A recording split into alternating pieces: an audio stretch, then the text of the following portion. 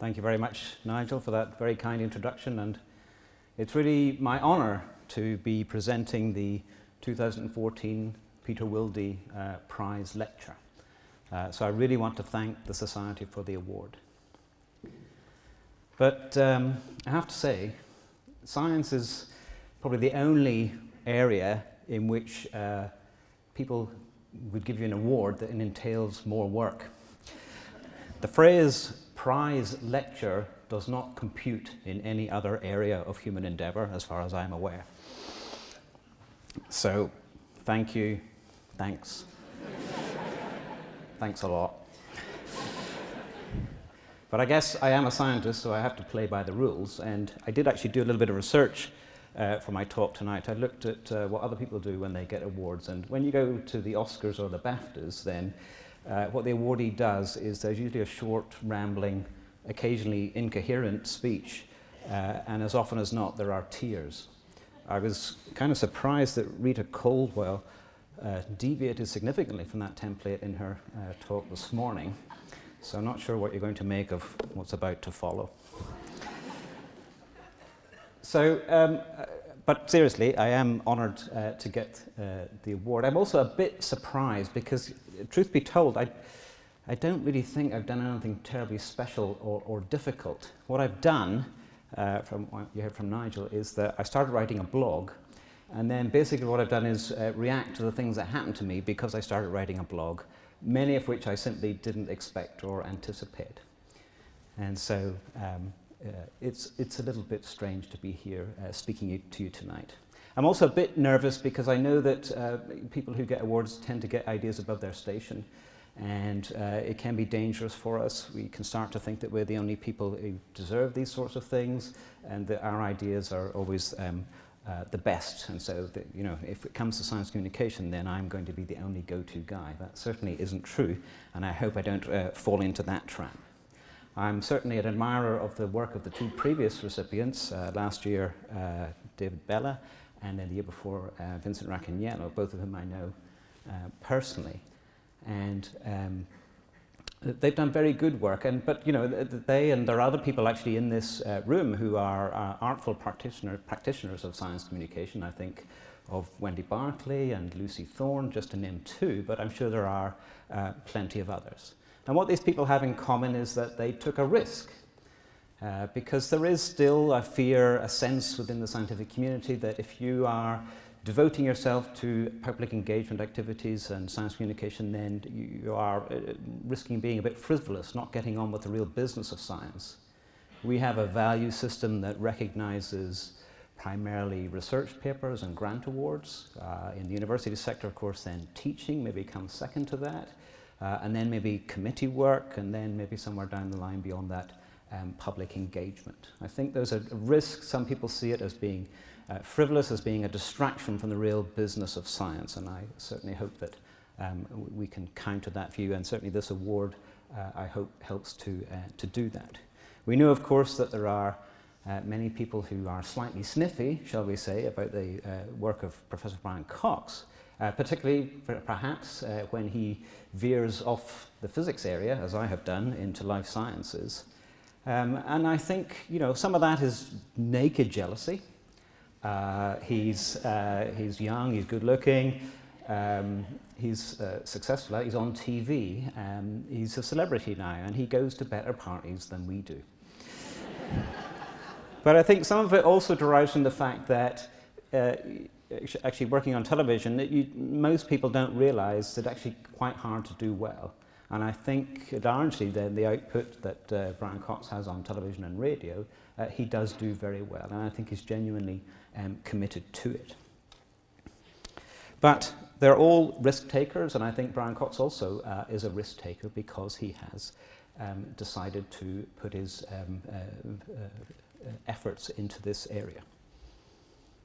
Now, it's not always glamorous, and here's me not being uh, glamorous. So yeah, this uh, and and most of what happens in science communication is simply hard work where you just get on uh, and do it. And if you're looking to get into it because you've been lured by news of the success and the fame and fortune of uh, Professor Brian Cox, then you're being motivated for the wrong reasons and you're probably uh, doing it wrong in any case.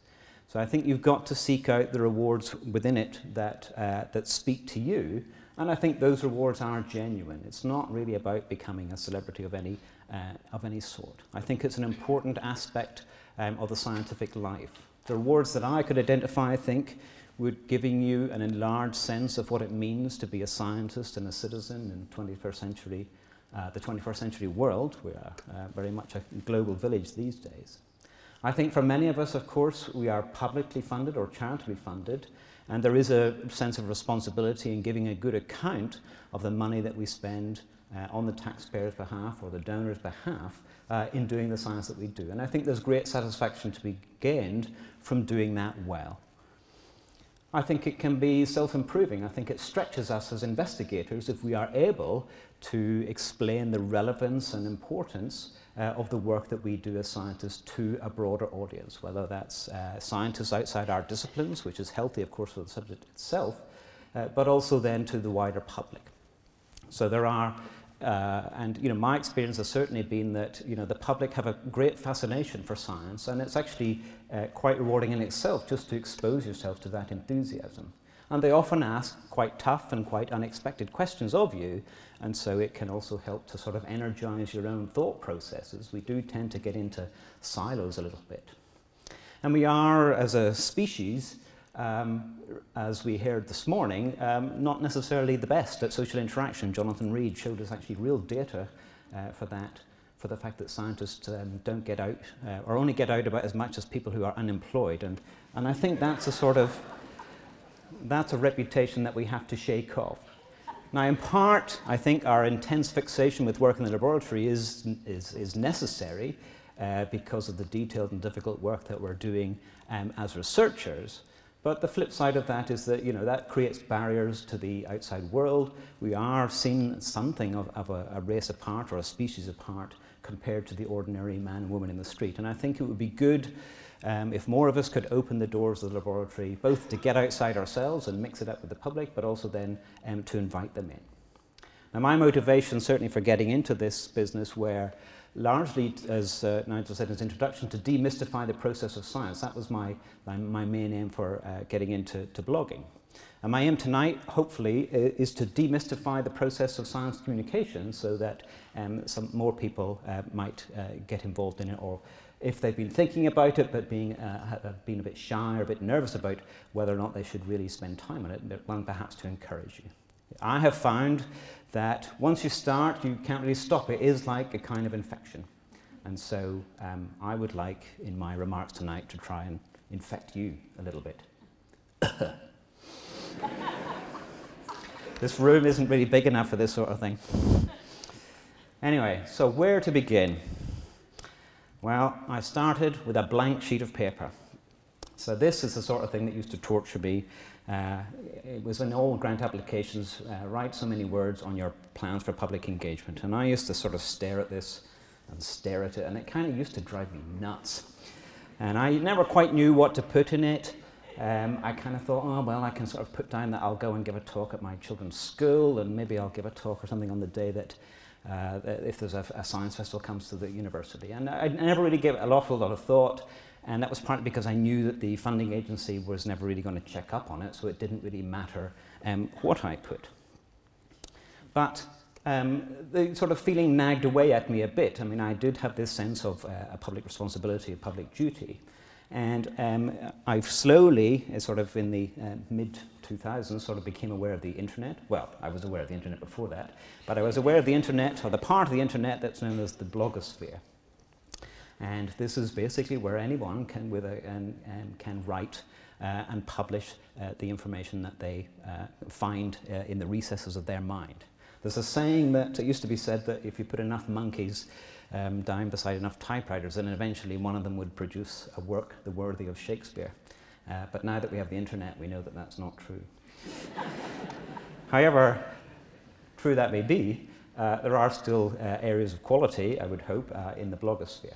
But even so, I did hesitate actually because uh, blogging doesn't have a fantastic reputation um, among the scientific community necessarily. It certainly didn't then. I think it is changing slowly uh, because there are many good uh, practitioners out there.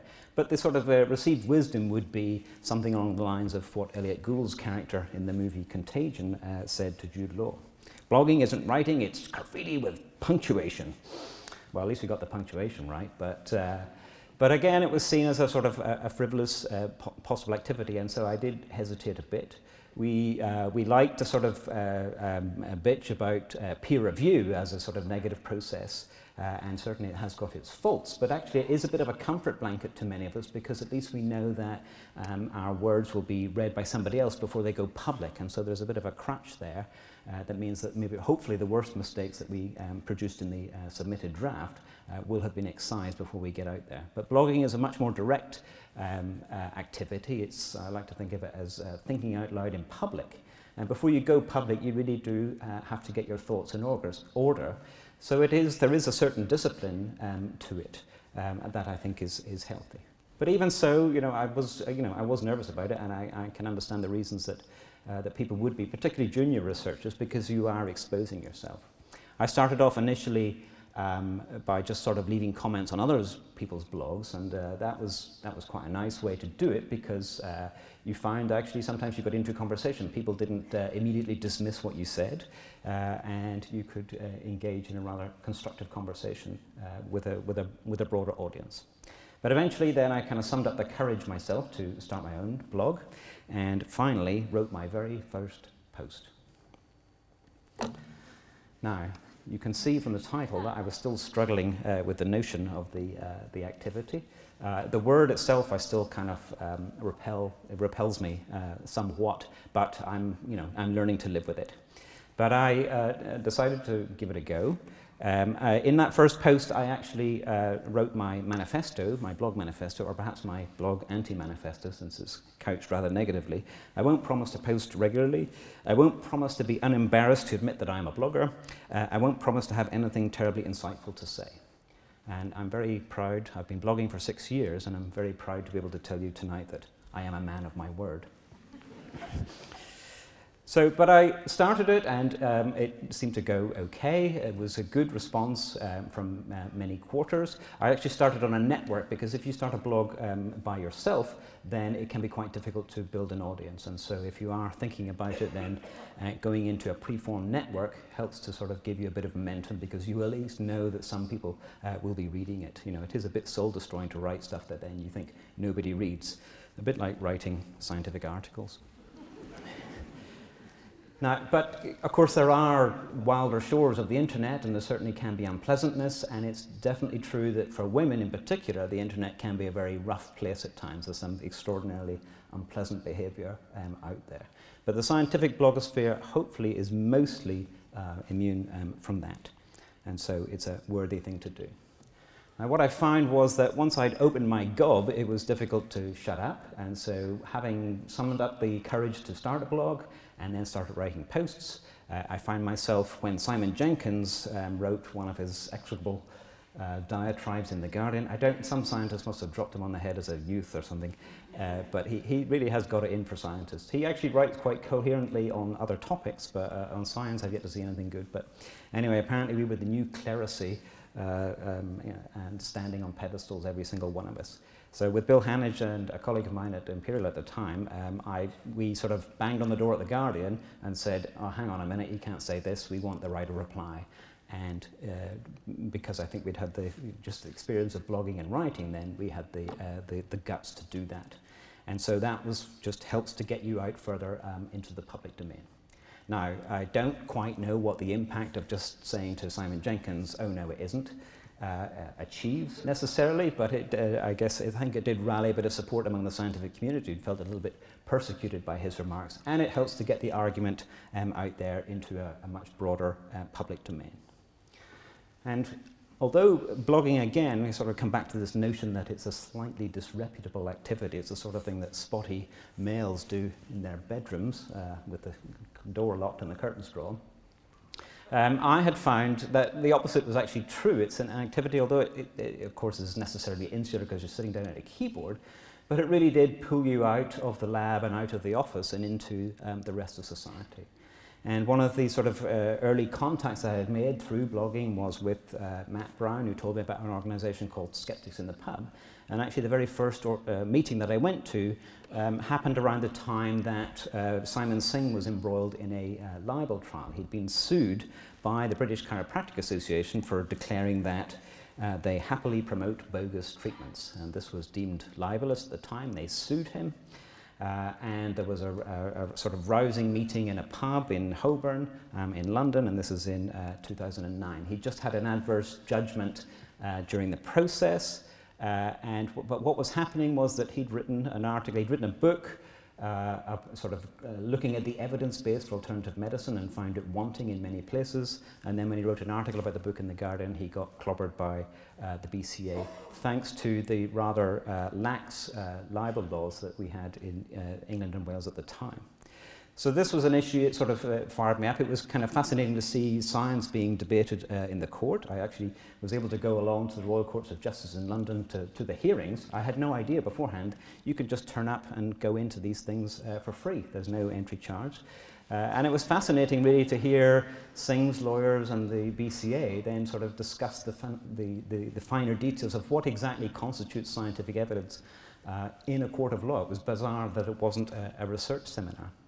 But it shows you that these scientific issues do percolate out uh, into many other and sometimes unexpected areas of society. Now, eventually, uh, uh, Singh was allowed to sort of challenge the initial judgment, and uh, the, the tide of the court of the court case turned in his favour, and that was in about April 2010. And eventually, the BCA dropped the case. Now, he was still relatively out of pocket because the uh, the law of the land made it uh, easy to sort of uh, fling a charge of libel at somebody and often that would, that would close down discussion on matters, and often matters of medical research and matters of public health, um, because, for, uh, because large organizations could just threaten to libel, and people basically knew that um, they were very, very expensive cases to defend. And the only reason that Simon Sig Singh could defend it was A, because he was a, he's a very courageous individual to have done so, but also because he's very wealthy. He's a very successful author and he'd made a lot of money. So he knew he could, he could afford to lose it, although he didn't want to, um, but he, he was facing losses of something like half a million uh, pounds if he lost. But he didn't, and actually the campaign, which I wrote about in my blog, I mean, I wasn't a very particular, uh, particularly active in the campaign, I'm certainly not claiming any any ma major role, but I did write about it a lot and did sort of go along to offer uh, support uh, at various instances. And there was a campaign then that was coordinated by the Index on Censorship, Sense About Science, and English Pen. Uh, and eventually, amazingly really, uh, in this day and age, has led to a change in the law. And so the Defamation Act uh, of 2013 is now an act of parliament and it means that peer-reviewed science for the first time in this country uh, uh, uh, cannot land you in court okay? So you cannot bring libel against a scientist who's published uh, in the peer-reviewed literature. And there are various other protections that have been brought about because of that.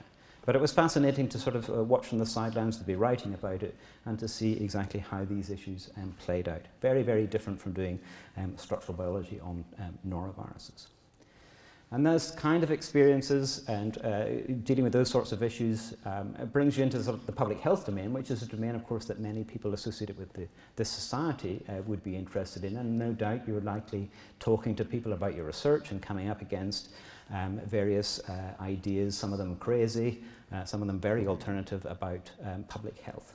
And I think it's important for us as a community to challenge those sorts of views, but uh, necessarily to do so in a way that is respectful. I mean, often you do have debates, and certainly the blogosphere is, uh, is perhaps one of the worst places for this, that become extraordinarily strident and angry, and uh, you just, the discussion just degenerates into a flame war, and there's no enlightenment, uh, and the exercise is all rather pointless. So if anyone is um, planning on getting into that, then I would um, suggest that you um, you know, hold your fire. Don't take the Travis Bickle approach to uh, changing people's minds, which is by rearranging them with a bullet. Uh, rather, try to engage and be respectful, even if they believe in homeopathy, even if they believe in uh, the creation uh, story of Genesis. Uh, uh, treat them with individual respect. It's, a, it's a, an approach that is, was adopted and um, taken by one of the great science communicators of all time, Carl Sagan whose books are well worth uh, reading. So there's many different aspects to um, science communication. One of the most exciting things that I got involved in, and again, it was, I don't actually remember how I got involved in this, but I'm pretty sure it was through the blog and through a contact that I had made. I heard about this competition called I'm a Scientist, Get Me Out of Here. Now, it's more or less the same sort of principle as I'm a celebrity, get me out of here, uh, but you don't get flown to Australia and you don't have to live in the jungle for a couple of weeks, which is good, and you don't have to meet and deal with Ant and Dec. Uh, it happens all online, but it, it's, a, it's, an online competition that provides direct uh, interaction between school children around the country and then a, a, group of five scientists. So there are a number of, I was in the imaging zone, as you can see, uh, and um, there's a number of different zones running at the same time. And so it's a great um, example of an initiative that allows direct contact between scientists and school children. I found it extraordinarily uh, energizing. They had fantastic questions, and the great thing about it is that it's entirely driven by the students. Uh, they get to choose who's in the zones, they get to write all the questions, and you have to, for the first week of the competition, all five of you have to sort of write answers. You either do it online through, uh, use, through the website in the evening, and then occasionally through that first week there are 45 minute live chat sessions uh, on the internet between the five of you and then a group of school children in, in a class somewhere uh, else in the country uh, who are shepherded by their teacher. And those are very intense 45 minute periods. So if you are thinking of entering, then I would recommend that you uh, brush up your typing skills. But it was, it was fascinating to be directly exposed to it. And ultimately, then in the second week of the competition, the children vote for their favourite scientists, and the one every day for the second week, the one with the least votes gets evicted, uh, according to the brutal rules of the competition. I was lucky to be left standing. Uh, it was a very uh, proud moment for me. Um, but it, it, what was fantastic about it was that it really exposed you to how fascinated the children were uh, about science. And it was a very rewarding experience to be able to sort of talk directly to them. And again, it, it was a great opportunity to demystify uh, the process of science. We kept getting asked, uh, what would you do if you won a Nobel Prize? And the five of us are sitting there thinking, that's not going to happen. You know, what am I going to do? And I said, um, I'd buy a house by the sea for my wife. Uh, and the reply came back slightly plaintively, oh, uh, wouldn't you spend it on research?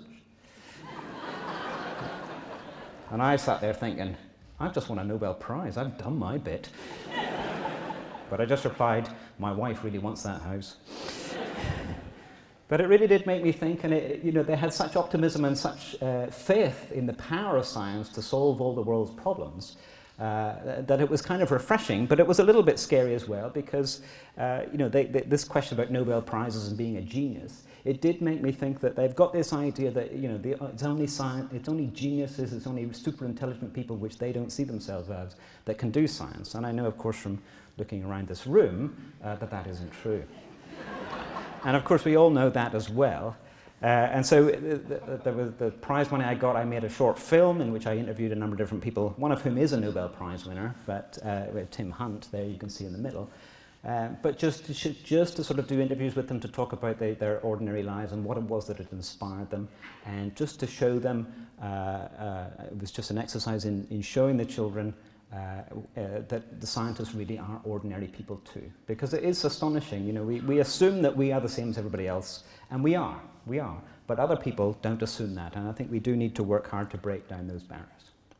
Anyway, having made that film, I had opportunities then to make other um, uh, videos and films, actually most recently with the Royal Institution, so the last one was released last Thursday, uh, and th th this is a great opportunity again to reach a very um, broad audience. And this is sort of showing you again, it's the internet that's changed everything. You know, 10 years ago, it would have been very difficult, A, to make and edit a film, and then to distribute it. And now, these days, uh, you know, if you've got a mobile phone that's a, a decent, you know, only a year or two old, then you've got a high definition video camera uh, in your pocket and you can immediately make a movie and then upload it to the internet. So we have got fantastic opportunities and we do want to uh, be able to uh, make more use of it. So politics uh, started for me in uh, 2010 and again as Nigel alluded to in the, in the opening. So once you start thinking about the broader issues of science, you start thinking about the children and the libel cases and uh, public policy. Then, of course, in 2010, we had a change of government, and uh, over the summer, they started making some very grey and grim noises about the likely uh, austerity budget that was going to hit every single government department. And uh, Vince Cable went on Radio 4 and made some um, spectacularly ill informed remarks about uh, the quality of British science. He said only 45% of it was excellent, judged by the RAE, um, which was an incredible misreading since it was over 90% um, uh, three star or four star according to the categories at the time. Um, I got a bit incensed about this, and uh, with Evan Harris, we wrote to The Guardian, but that's because I'm a kind of let's write to the newspapers kind of a guy.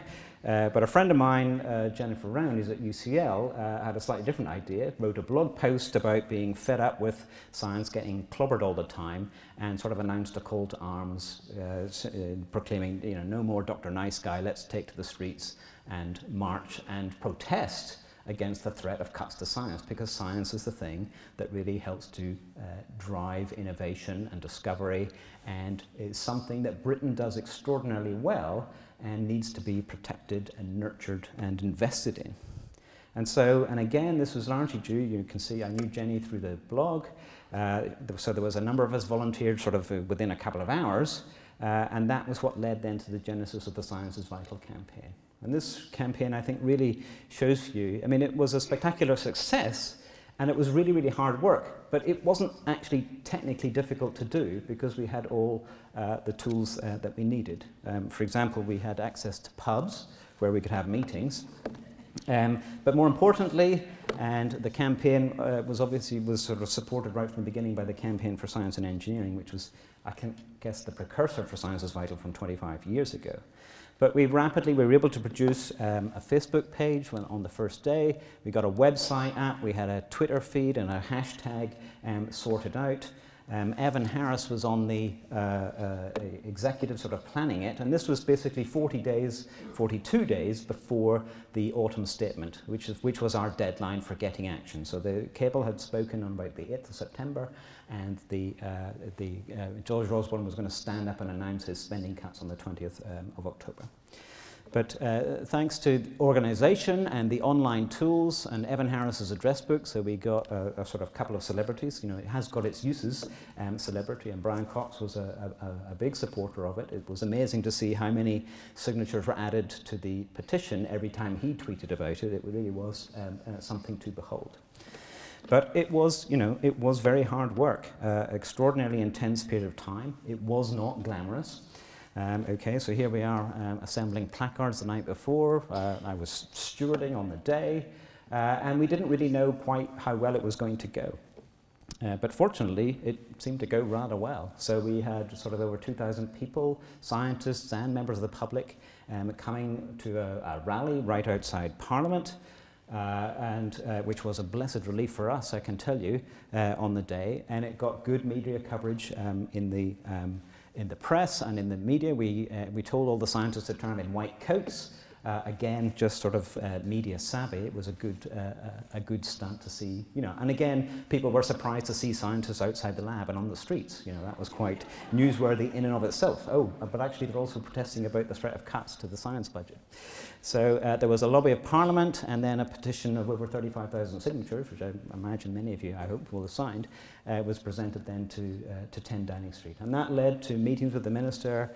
And I know, you know, Science is Vital is not claiming at all um, full credit for this. There were many, many other uh, uh, lines of communication and pressure put on uh, government, both uh, sort of uh, in public and in private, through many learned societies, and in the Royal Society was um, heavily involved.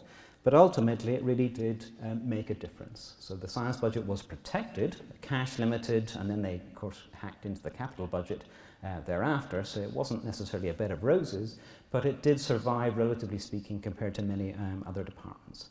And what it shows you really is what, you know, what a small number of people can do if they're dedicated enough and if they know their way around the internet. And it's really quite a contrast between what happened then in 2010 in 40 days or so compared to what happened 25 years ago when Save British Science um, formed and they had basically spent six weeks telephoning around trying to raise money in order to put a full page advert in the Times.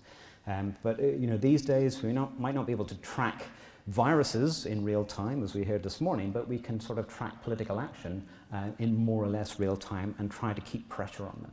And I think one of the really good things I think that came out of that was that it showed the scientific community what they really could do if they, you know, got off their backsides out of the lab uh, and, and actually did something about the science that they care about in the public domain. So I hope it'll be a, a good example for next time, because there may well be a next time. Uh, since 2010, the, organisation has kept going. We're, we're, not a very well-funded organisation. We're all amateurs and we're all very much part-timers because we've all got other jobs to do.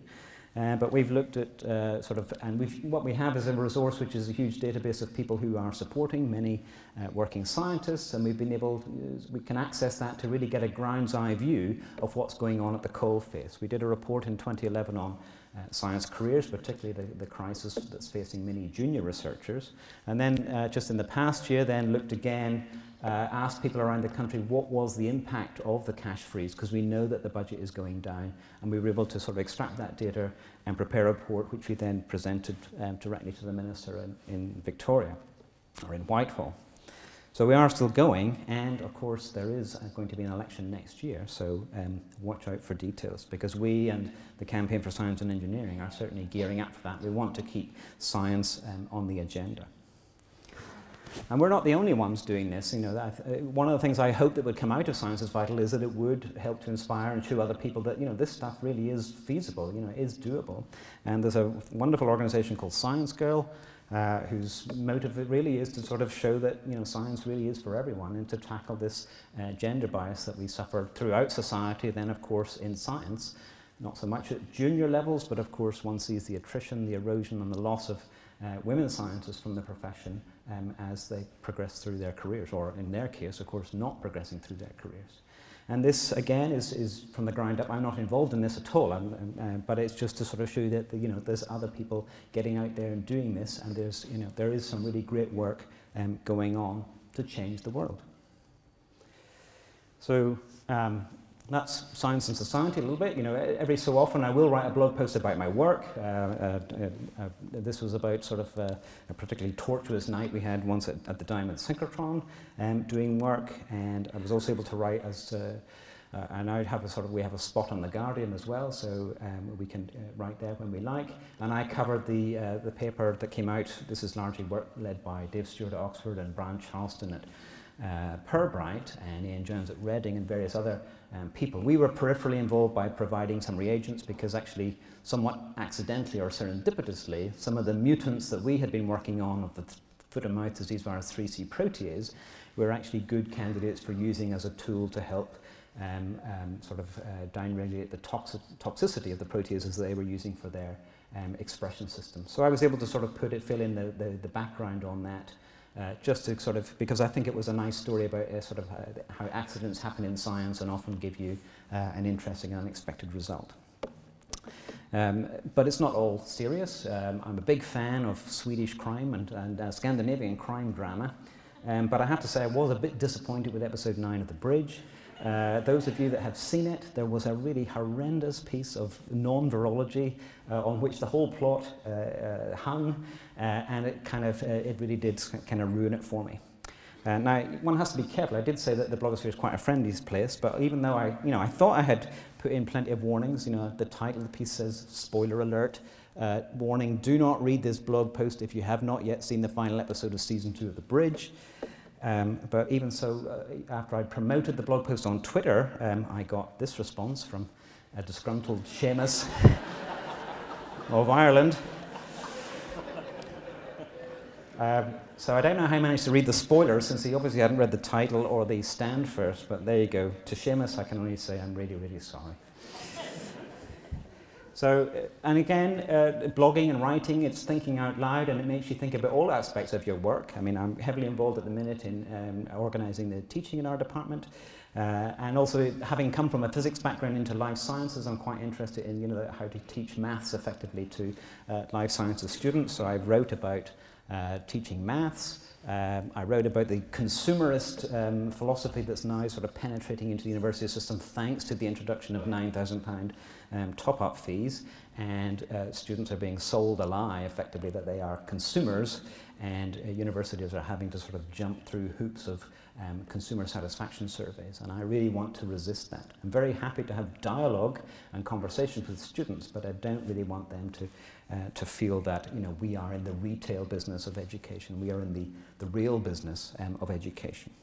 And one of the other things that we've been able to do is to introduce a science communication course as part of our final year undergraduate uh, teaching um, at Imperial College.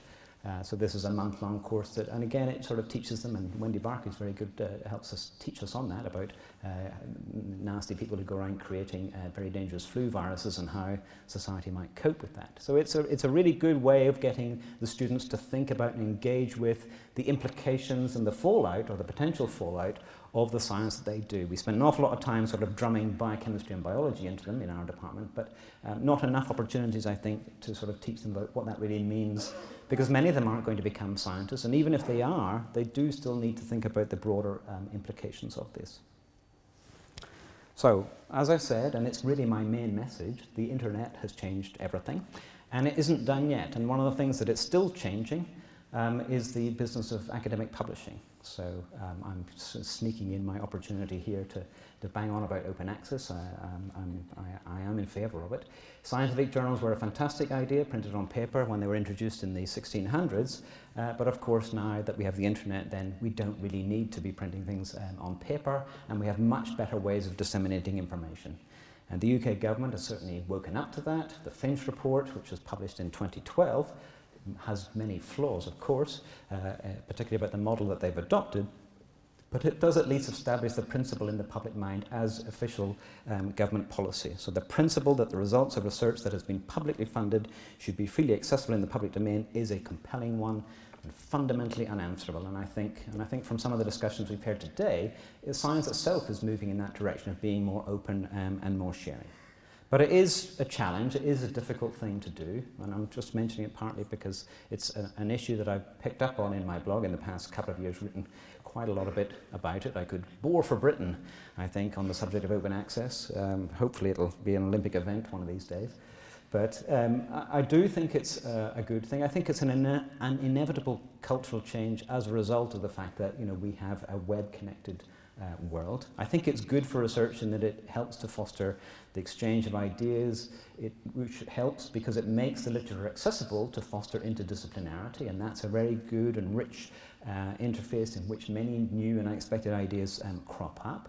And I think also it's giving us an opportunity to actually to take back ownership of the scientific literature, and that's something that we gave away rather carelessly, I would say, um, through the last sort of uh, uh, 20 or 30 years. I think it's good for the taxpayer. I am a taxpayer myself, so um, I do like to see um, public money being spent wisely. And ultimately, although there are concerns that, the transition is going to be costly, it will be beneficial um, to the taxpayer and to the scientific community because we should get much more cost-effective methods um, of publication.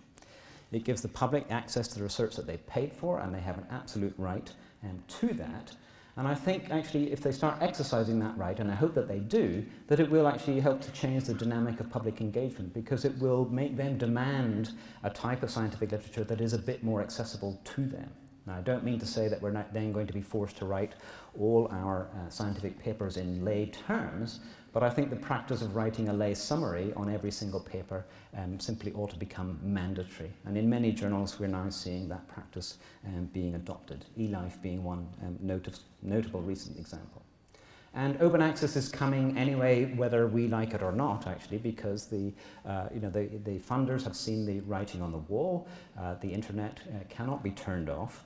And we now see from RCUK, from HEFCE, from Wellcome, from NIH, and from the EU that there are going to be mandates um, for your work to be freely available on the internet for anybody to read, hopefully also to text mine, and preferentially also then to reuse in any way that they see fit. Uh, but if you want to be have papers that are, you can submit to the REF in 2020 or whenever the next one is, um, Lord spare us, uh, uh, then it will have to be open access. That's the policy most recently announced by HEFCE. Now we know that this makes, entails changes to the subscription models that many learner societies, for example, um, have used as a profitable source of income with which, you know, you, to generate funds which then fund many important activities of societies. But I do think that societies are going to have to face um, those challenges. There aren't easy answers yet, um, but ultimately, the business of a, of a learning society is to promote its discipline. And what better way to promote it than to make the results of that discipline available to the widest possible readership? But it, it is slow going, it is difficult, there's political challenges, there's financial challenges. And uh, one of the difficulties we have is that the, the whole process is challenging the hegemony of uh, established um, legacy um, publishers and journals. And one of the difficulties we have with that uh, is that you know, we are obsessed with impact factors and we, we, are obsessed with that because we've allowed it to infect our uh, career structures, our reward structures, and too many universities and too many uh, grant funding agencies uh, rely too easily on this so-called proxy for um, um, for quality. It's not a proxy for quality. It's uh, interesting if you get published in a so-called high impact journal, um, but that should only really be the first step in assessing a paper. You only can actually assess scientific quality at the paper level, and you do actually have to read the paper and evaluate the science. You should not assume that just because it's in science that it's good science, as we have seen um, on a number of occasions. So, uh, we, you know, it, this is slowly changing and the funders are doing um, their bit, um, but it, will take more than the funders. The Wellcome Trust has a standing policy and it's actually integral into their open access policy that it's the intrinsic merit of the work and not the title of the journal uh, that should be considered in making funding decisions. Now, it's one thing to say that, it's quite another thing to make sure that your grant panels enact that because it has become a reflex for all of us and we really do need um, to cure ourselves of that uh, reflex. One of the things that I was able to do just through the blog was to sort of, I knew that the RCUK was revising its open access policy, and I just wrote a post that asked lots of people to sort of sign a, an open letter asking RCUK to adopt a similar statement in their um, um, open access policy and as guidance to their uh, grant panels. And that was very much pushing an open, at an open door because I think they were very sympathetic to the idea, but it just shows you again um, that you know just a little bit writing a blog post, getting a few signatures on a letter can actually um, make a, a significant um, degree of change. But of course, it will take more than changing the wording on a policy document, document um, to change the world. I'm not quite that uh, deluded. But I do think this whole area um, of so challenging impact factors and challenging the sort of established position of uh, so-called prestige journals is important not just to sort of clear the ground to allow and encourage the growth of new and innovative open access publishers, which is necessary to generate the market that will drive prices down and that will give us better value for money for our research pounds and research dollars. But I do think it's part of a drive to uh, rescue, I think, uh, our community from uh, this addiction with impact factors and with using it as a proxy for assessment in so many different areas, not just for grant applications, but also, of course, for promotions. And you will, you will have seen and heard many PhD students and postdocs think saying that, you know, I've got to get a Nature Cell or Science paper if I'm going to get a career. And that's a kind of terrible burden to have placed on such young shoulders. And I do think that we have to step up and be more mindful of looking at the individual more holistically. And there are people like Ron Vale and Peter Lawrence who've written very uh, eloquently on this subject, and I would commend um, all their writings to you. And they really are pushing the message that we've got to look not just at what the papers people publish, but look at their contribution to the scientific community as a whole. You know, how good are they at mentoring um, students? How good are they at teaching? Um, and what other activities do they do? If they're involved in public engagement, then it would be nice that that uh, was also recognized. And I think that is slowly changing, but we do have to push further and further in that direction. And I think that we will reap the benefits of it because we will have a much healthier um, community. I don't think we'll be stress-free. I don't think that's ever going to happen in science. Uh, finite resources uh, is the uh, writing on the wall. But uh, there's a very important movement called the San Francisco Declaration on Research Assessment, which just basically sets down, and it was developed by learned societies and publishers and, uh, and some of the funding institutions, sets down a, a, a, short list of recommendations that give you ways of um, uh, going about your assessment which do not rely unduly on impact factors. So, um, uh, and I would encourage you to sign it. I'm trying to get Imperial College to sign it as an institution. Uh, haven't succeeded yet, but I'm still um, working on it. So ultimately, um, good communication, good science, I think, requires um, support. We've got to support our young people, and if we are going to do more good science communication and make sure that the scientific community is interacting um, in a constructive and a healthy way uh, with the rest of our society, then we do have to support um, everybody who, who does it, from the undergraduate to the PhD student um, to the postdoc to the geriatric um, professor. So um, 25 years of science communication, I finally got through to my wife what I do.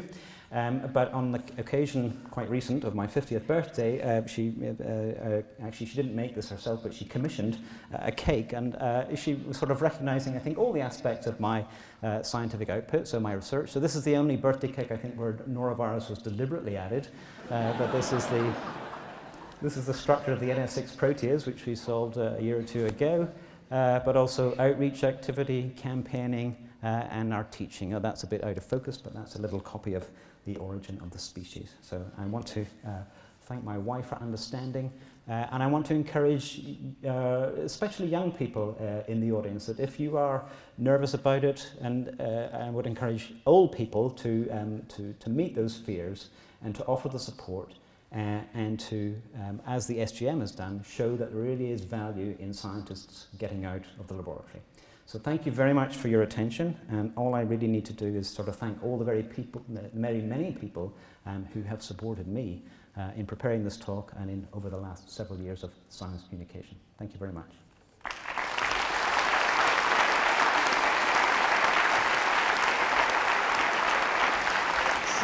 And it's a great pleasure to uh, give you the uh, 2014 Peter Wildy Prize for uh, Science Education, and congratulations and thank you for a great talk.